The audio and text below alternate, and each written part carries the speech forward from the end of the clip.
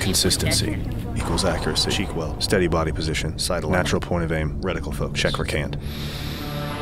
Positively identify my target. Determine hold. Check my cosine indicator. and elevation. Eye relief. Refine aim. Adjust power. Parallax. And mil. Steady breathing. Check for scope shadow. Trigger control. Watch for trace. Splash. Strike or trace. Recoil. Assess and evaluate the impact. Call my shot. What's in front of and behind my target. Send it. Shooter ready.